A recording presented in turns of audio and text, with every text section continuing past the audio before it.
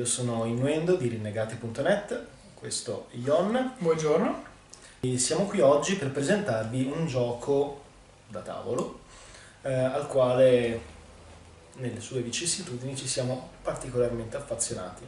Il gioco in questione è Medioevo Universale.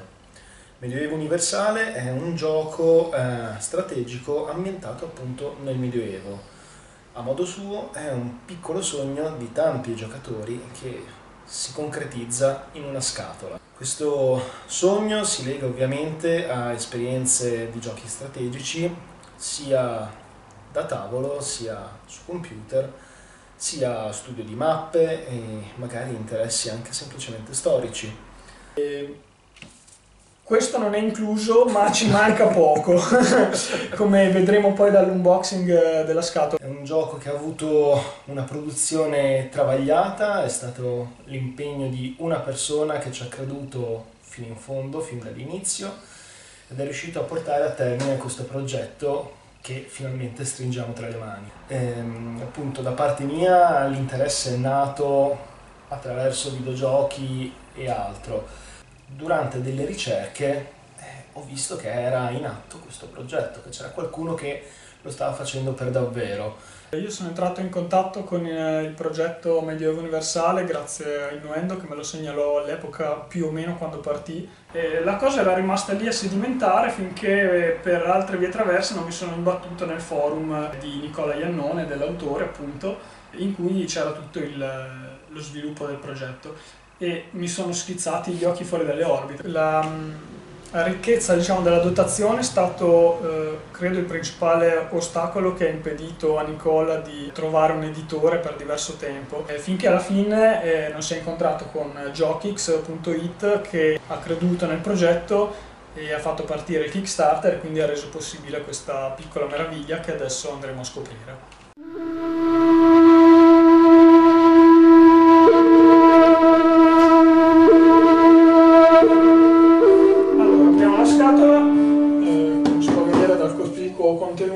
La prima cosa che troviamo è una eh, mappa che è aggiuntiva, era una delle aggiunte possibili al, al Kickstarter.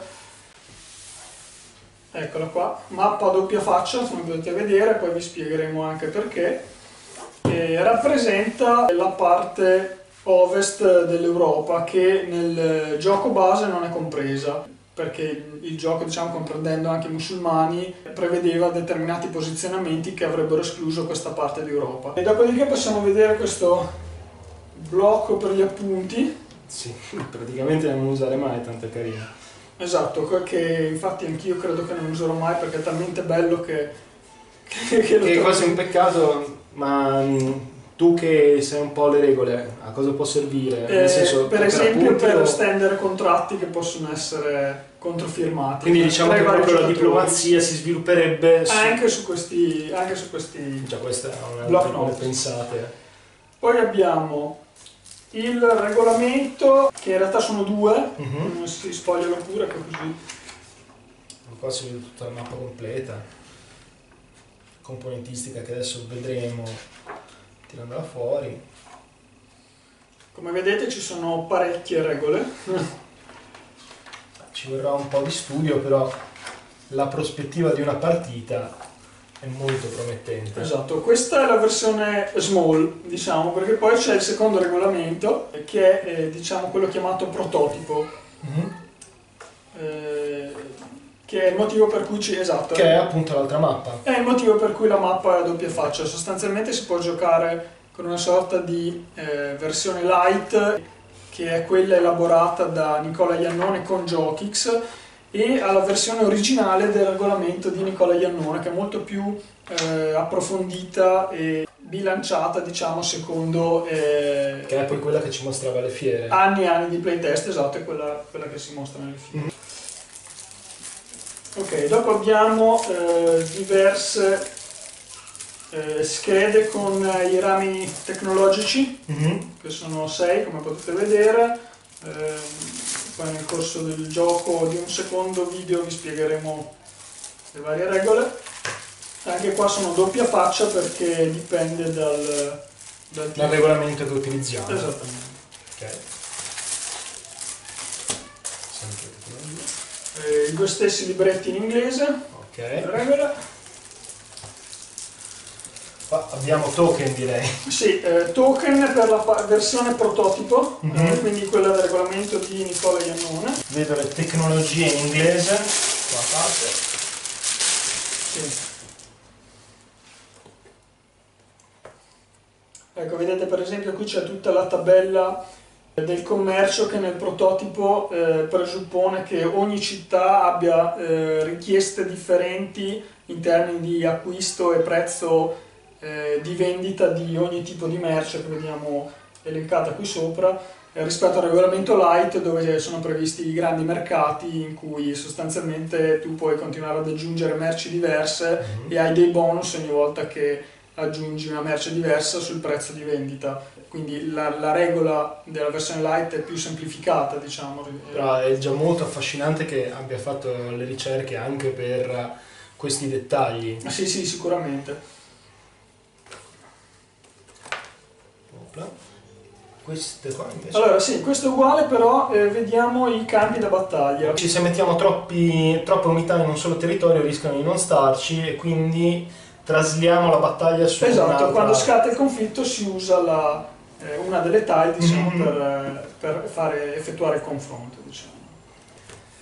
Questo è solo un foglio di carta. Esatto, e veniamo alla mappa del gioco base. Allora, questa non è la mappa, cioè è la mappa ma è metà mappa in realtà, nel senso che dopo cerchiamo di aprirla tutta. Ok. E qua c'è appunto il richiamo alle miniature intese come miniature medievali, quindi Esatto. Eh, questa è sempre la parte diciamo del gioco elaborato da Iannone con Jokix, Mhm. mentre eh, naturalmente dietro c'è la parte eh, del prototipo, qui come potete vedere ci sono i Mori, eh, l'impero bizantino, diciamo, il canato dell'Ordadoro e, e poi più avanti. sì, è molto più netta la divisione a livello politico. Sì, qua. eh, tra l'altro eh, già da- dalla mappa del prototipo si può immaginare il tipo di eh, ricerca, proprio gli anni anche di ricerca Mhm. che sono serviti a Nicola, perché se voi andate a vedere ogni eh, territorio viene, viene fotografato per quello che era nel XII secolo, eh, Principato di Antiochia, Impero di Trebisonda, io sfido gli youtuber eh, per sapere quanti erano a conoscenza dell'impero di Trebisonda. Sì, poi vediamo anche tutta la ricerca delle singole araldiche, eh, che anche quello deve essere comunque un E- bel lavoro di ricerca. e la ricerca di storia diciamo del nord-est Europa che non è proprio cosa che si mastica comunemente sui libri di storia. Sì. Qui abbiamo l'altra metà della mappa che come vi dicevo esclude la parte ovest della- dell'Europa in cui c'è l'Italia, il Regno Hafside della Tunisia e... Ora veniamo a una parte. Esatto, adesso veniamo alla parte pesante della scatola che è il primo piano perché poi c'è, ci sono come Sì, no, vedo queste cinghie. Esatto, che servono per liberare il secondo piano. Qua c'è cartone. Ok. Eh, sì, in realtà è pieno di miniature anche qua, allora mm, se vuoi Intanto apro. Esatto, qui ce ne sono mm, quattro copie, diciamo, eh, inglese e italiano, Mhm. e sostanzialmente sono gli schermini dei giocatori. Ok. Quindi, Ecco. ok. Sul tanato dei mamelucchi, per esempio, come potete vedere, se, se lo girate c'è tutto un riassunto di... Adesso questa è in inglese, ovviamente c'è anche in italiano. Mhm. eh, dei vari costi nel, nel corso del gioco, eh, proprio perché essendo un regolamento eh, vecchia scuola, quindi come piacciono a noi, molto articolati, eh, è utile avere una sorta di handbook eh, consultabile durante le fasi, ecco, per ridurre i tempi di vado a consultare il regolamento per capire eh, come devo muovermi. Mhm. Ah, vedo anche qua, anche a livello di vestiario, espressioni, eccetera, una certa ricerca anche nelle illustrazioni che caratterizza appunto le singole fazioni. Un'altra cosa che apprezzo molto. Poi, a cosa passiamo? Allora possiamo vedere qui le miniature, parte delle miniature, queste sono, le, lascio a te, le miniature dei vari giocatori, come vedete c'è, dopo sono rossi, gialli, blu, insomma tutti i vari oro e bianco che vedremo dopo. Qua vedo... Ecco, sostanzialmente poi vedremo un dettaglio, ci sono cinque miniature eh, diverse che identificano la fanteria leggera, la fanteria pesante, la cavalleria, eh, gli arcieri e il comandante, il quale Mhm. comandante, come vedremo poi nella scatola, ha la sua lancia da innestare e dopo nel corso del gioco il capitano può essere promosso quindi da primo livello passa a secondo livello con lo standard argentato o terzo livello con lo standard dorato quindi Mhm. acquisisce più capacità diventa più forte ricorda un po' i vecchi cavalieri di- dei coloni di Catania nell'espansione città e cavalieri diciamo. Eh, I soldatini eh, sono tutti uguali per tutti i giocatori, tranne era previsto un don apposito eh, per eh, i mamelucchi Mhm. che eh, mantengono la suddivisione fanteria leggera, fanteria pesante, cavalleria, arceria e capitani, però naturalmente sono, hanno dei soldatini personalizzati, poi faremo una zoomata con, ecco per esempio ehm, un particolare un po' più che salta all'occhio è che la cavalleria, eh, come vedete, sono su un andromedario. Ok. Esatto, e anche i soldatini sono, ehm, ecco per esempio la fanteria, Sì, Eh, un confronto. esatto, sì, dopo magari facciamo una zoomata, Mm. la- il mameluco ha la Sì, sciabola, no, ha la struttura della miniatura più o meno la stessa, E- ha tutto il vestiario e il Esatto. comparto di armamento esatto, caratterizzato. sì. Nel penultimo scomparto vediamo le carte Mhm. eh, che si suddividono, eh, poi vediamo nel regolamento, in carte evento o carte impero. E, e carte queste sono carte aggiuntive del- dovute al Kickstarter, non so se le troverete nella versione retail, eh, però insomma erano, Mhm. erano un'aggiunta. E Intanto che lo apro, eh, vedo che c'è ancora roba dentro, Sì, eh, e siamo solo a metà della scatola. infatti. Nell'ultimo scomparto eh, qualcuno è poco riempito o quasi vuoto, in modo tale che se uno acquista l'espansione eh, riesce comunque più o meno a posizionarla nella scatola base. E ultima scatola, Ixunt Dragones, abbiamo i barbari.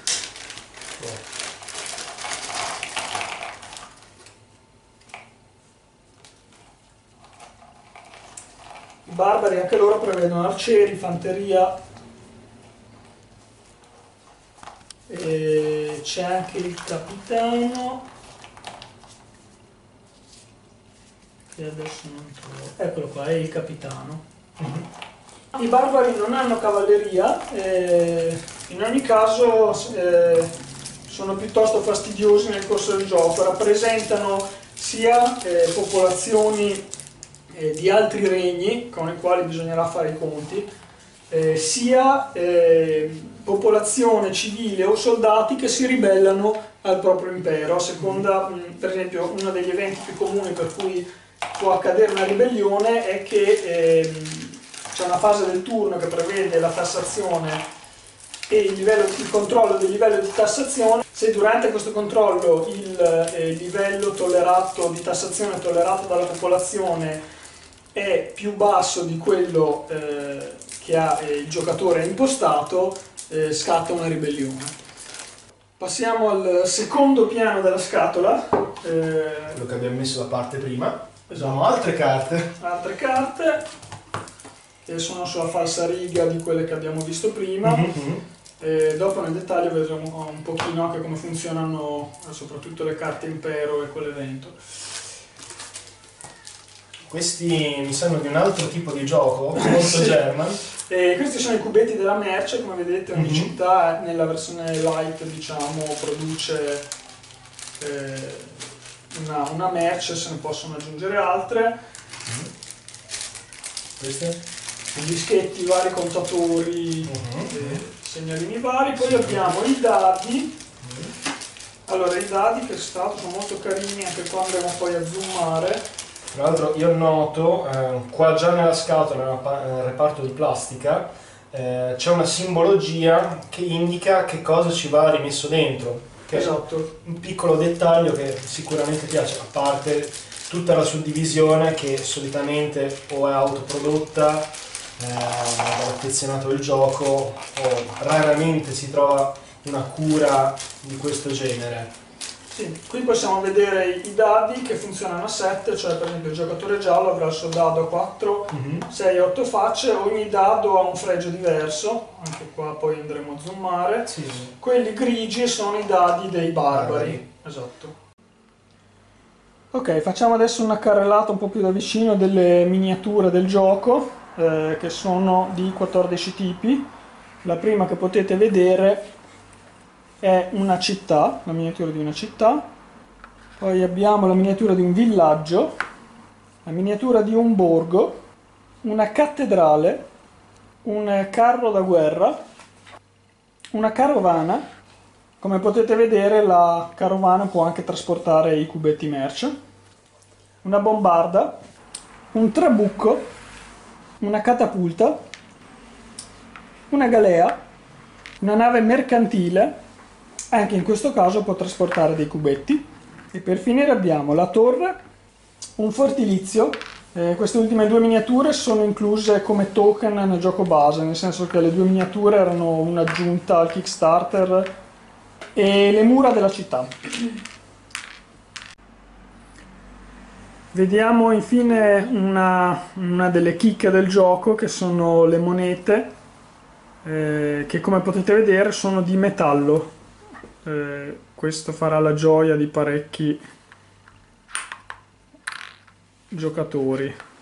Vedete hanno sono anche molto dettagliate e sono di diversi tagli da, vanno da 1 fino a 500 fiorini che è la moneta, la moneta del gioco vediamo le carte del gioco una veloce carrellata partiamo dal, eh, dal gioco fatto da Nicola con, eh, assieme a Jokix eh, quello che ha il regolamento che si chiama regolamento eh, potete vedere le carte eventi questo è il dorso sono numerate Eh, Adesso ovviamente sono in ordine perché appena Esatto. scattate.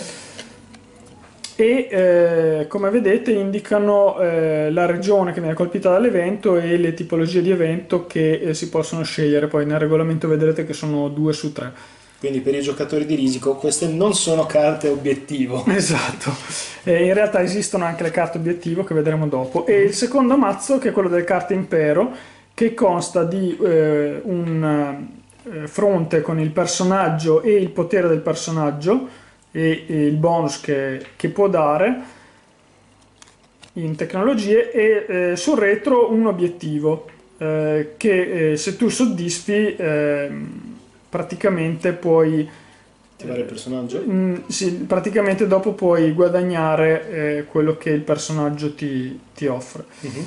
Eh, I personaggi sono, sono veramente, sono veramente tanti, eh, con illustrazioni molto evocative. Mazzi aggiuntivi per il regolamento denominato eh, prototipo, in cui si eh, aggiungono le famose carte obiettivo di cui accennavamo prima. Qui vedete la mappa completa di gioco con gli obiettivi da raggiungere. Ecco le carte legate al regolamento tipo prototipo, cioè quello originale studiato da Nicola Iannone, hanno tutti questa mh, piccola banda rossa eh, in modo da Sì, poterle l'angolino rosso. Esatto, l'angolino rosso in modo da poterle distinguere. Nel regolamento prototipo eh, le carte personaggio hanno il nome e eh, sul retro però non hanno l'obiettivo. Poi abbiamo le carte tesoro che vengono attivate con condizioni particolari. Ecco, vedete, stesso discorso vale per i token del gioco che hanno l'angolino rosso.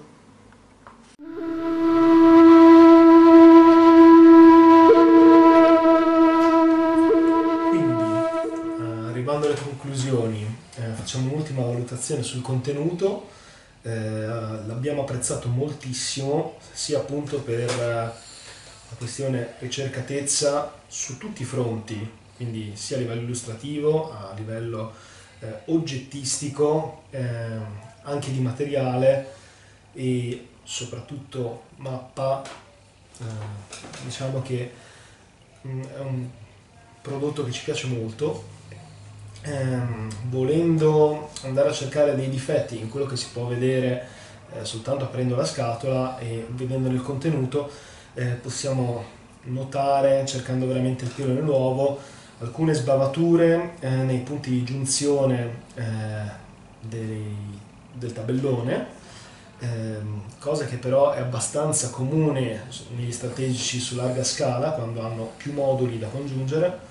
Quindi sì, eh, almeno in questo caso si vede un lieve stacco, può dare fastidio a qualcuno, ma visto diciamo, eh, il gioco nella sua interezza eh, può essere un difetto su cui secondo me si può sorvolare facilmente. Eh, forse eh, può dare più fastidio ehm, la scelta del materiale del cartone, della scatola, eh, che magari è un po' troppo leggero vista appunto la pesantezza e la mole, eh, abbiamo notato fin da subito che si ammacca molto facilmente e rischia di strapparsi nei punti di giunzione sugli spigoli. Sì. E questo è veramente andando a cercare il pelo nell'uovo eh, su qualcosa che dà veramente una soddisfazione da mettere sul tavolo eh, particolare unica e che realizza appunto quel concetto eh, di sogno che è stato anche il motivo per cui ci siamo messi a seguire questo progetto eh, al suo esordio. All'inizio era previsto solo eh, il regolamento Jokix che rielaborava quello di Nicola Iannone, poi è stato aggiunto anche eh, quello del prototipo proprio di Nicola e questo è il motivo appunto per cui si ha il tabellone a doppia faccia e due modalità di gioco e delle carte anche diverse. E carte, esatto, carte diverse, token, token diversi. E tra l'altro, piccola annotazione, va detto che eh, chi, ai baker a cui è arrivata la scatola eh, è arrivato anche un elenco di cose eh, che Jokix ha aggiunto in più oltre eh, tutto quello che era stato sbloccato nella campagna. Non è un gioco dove alla risico puoi attaccare a testa bassa, mm, anzi mm, bisogna tenere molto conto anche di relazioni diplomatiche e tutti questi aspetti sono molto accentuati nel, nel regolamento di Nicola. E, al contrario, eh, il regolamento, chiamato regolamento, eh, che appunto è la rielaborazione di Jopix del, del regolamento originale, eh, è un'operazione che tende a restituire tutta l'esperienza di Medioevo universale ehm, condensata in dei limiti temporali eh, più alla portata di un, una platea diciamo più ampia di, di, giocatori. Sulla scatola è indicato 240 minuti. 240 minuti, esatto. Eh, I giocatori sono da 3-6. Eh, credo, avendo mh, provato il prototipo e letto il regolamento, che mh, ci si stia un po' a pelo sui 240 minuti. Comunque, ehm, al di là anche della questione temporale, eh, si è mh, voluto intervenire anche sulle regole cercando di eh, semplificarle senza banalizzarle, nel senso eh, il regolamento cosiddetto prototipo eh, presenta tutta una serie di diciamo, calcoli, eccezioni, eh, non pensate che questo sia una cosa che appesantisca troppo il gioco, però comunque va sempre tenuto un po' d'occhio. Al contrario, eh, Jokix ha atteso a eh, ridurre questo tipo di, di consultazioni in, un, in, un'esperienza un po' più eh, fluida come movimento del turno. Ecco. E, ovviamente vari giocatori la scelta, anzi eh, ne approfittiamo per tirare la conclusione generale su questo gioco e parlare proprio eh, di cosa rende questo gioco eh, e mh, i, cosa i giocatori possono andarci a cercare. Sicuramente l'esperienza di gioco eh, di per sé, più tutte queste finezze di cui abbiamo parlato, eh, sia dal punto di vista storico che eh, anche del piacere di un'esperienza di ricerca, questo gioco rappresenta non solo questo gioco, ma anche ehm, diciamo, un obiettivo, un uh, risultato raggiunto, ovvero una persona uh, che ha portato avanti un certo tipo di passione e si è attivata talmente tanto, è impegnata talmente tanto che è riuscita a fare questa che era soltanto una sua idea, poi hanno avuto anche altri eh, diversamente, però l'ha concretizzata davvero, è riuscito a far pubblicare questo gioco così come voleva lui. Eh, penso che sia qualcosa... Sì, sembrava un'impresa assolutamente impossibile all'inizio, con una componentistica e una dimensione del genere trovare un editore che, che te lo potesse portare sul tavolo. Esatto. Invece lui ci è riuscito, quindi lode al merito, insomma. E quindi è un messaggio per eh, chiunque abbia forte questa passione eh, del gioco da tavolo e della, del suo disegno e, e, e, costruzione, insomma, di crederci eh, e continuare a eh, lavorare sul proprio progetto, perché questo progetto ha dietro un lavoro di anni, sia ricerca che playtesting, quindi lavorare, lavorare, lavorare e continuare a fare tentativi per eh, provare a farlo pubblicare se ritiene che ne valga veramente la pena. Il nostro consiglio è, mm, dopo aver valutato che questo effettivamente non può essere un gioco per tutti, è un gioco impegnativo, eh, lungo, eccetera, però se qualcuno ha questo tipo di passione sembra veramente essere il gioco adatto. Prendetevi un fine settimana con gli amici e cercate di portare avanti la vostra esperienza affrontando il regolamento pieno, il gioco pieno e eh, speriamo che appunto questa sintesi sia di ispirazione per chi questo tipo di passione ce l'ha ed è pronto ad affrontare una sfida del genere. Sì, questo è eh, un gioco coraggioso e controcorrente eh, perché in un momento in cui eh, il tempo eh, per ciascuno di noi si assottiglia sempre di più eh, e sempre di più il, gioco, il, mercato dei giochi da tavola va eh, verso filler, party game, comunque qualcosa di veloce da mettere sul tavolo, Medioevo Universale compie l'operazione esattamente opposta. E è quindi noi apprezziamo eh, il coraggio di questa scelta perché eh, cosa dice questo gioco? Questo gioco dice eh, due cose molto importanti. Eh, uno, la passione per la storia eh, è bella eh, e questo ci teniamo a sottolinearlo perché lo ripeteremo ancora una volta, dietro questo gioco c'è un mare di ricerca e documentazione e anche leggere un semplice nome sulla mappa che magari può catturare l'attenzione, eh, può innescare quel processo di eh, ma um, proviamo ad andare in biblioteca, perché esistono ancora le biblioteche con i libri, eh, proviamo ad andare in biblioteca a cercare dei testi su questo, questo per esempio, despotato de Piro. Oddio, despotato de Piro, adesso giuro che chiusa la scatola vado, vado a documentarmi. E, e questo è un merito eh, del gioco da tavolo eh, sul quale mm, è bene porre l'accento. E eh, secondariamente dice trovate eh, sul, sulla scatola base c'è scritto da 3 a 6, in realtà con la mappa aggiuntiva e il pack aggiuntivo di, eh, di miniature si può arrivare credo almeno fino a 10 giocatori.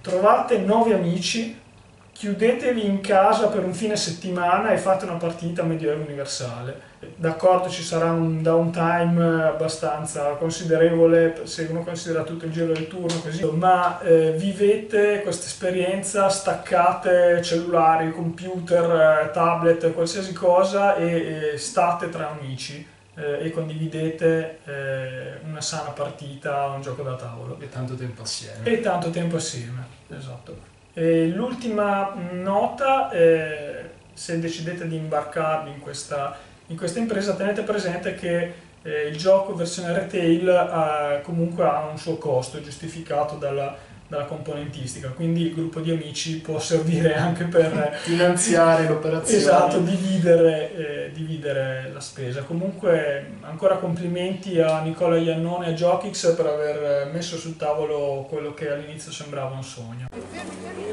Allora, se siete riusciti a radunare un certo numero di amici e vi siete presi uno o due giorni di vacanza, eh, noi vi consigliamo di dare un'occhiata al regolamento prototipo di Nicola Iannone e sbizzarrirvi con tutte le possibilità che questo offre, magari prima di provare la versione eh, più condensata del, del regolamento di Jogix.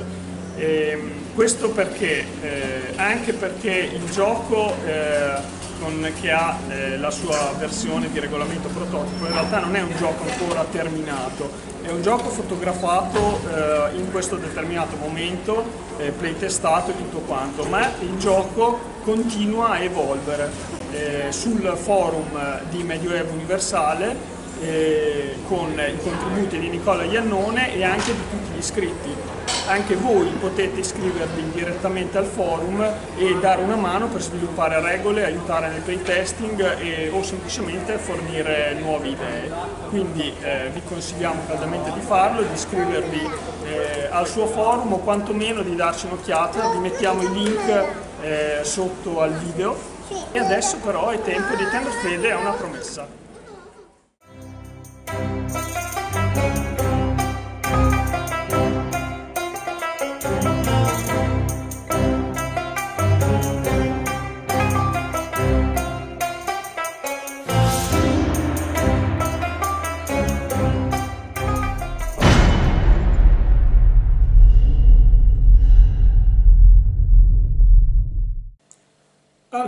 Vediamo se ho capito. Michele I diventa despota d'Epiro nel 1204 in seguito al sacco di Costantinopoli, ma viene fatto fuori dal fratellastro Teodoro che gli subentra.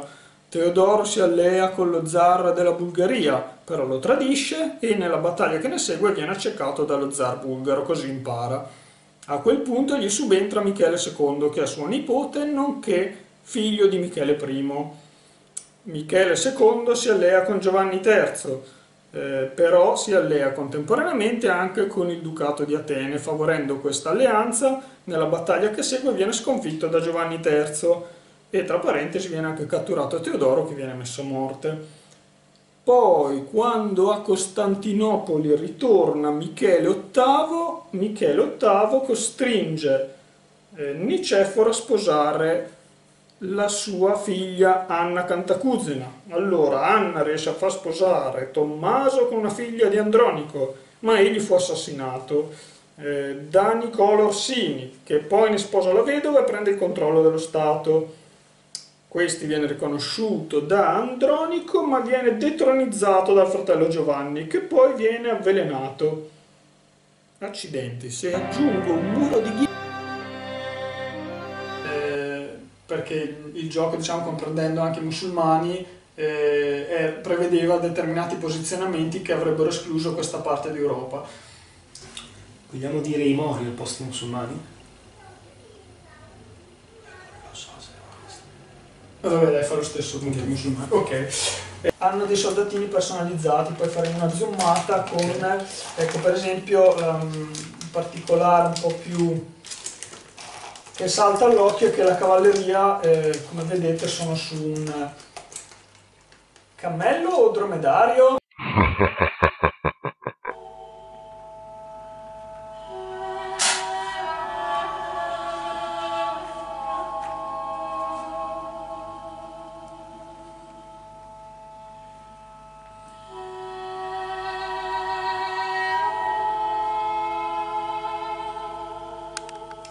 Non ci credo.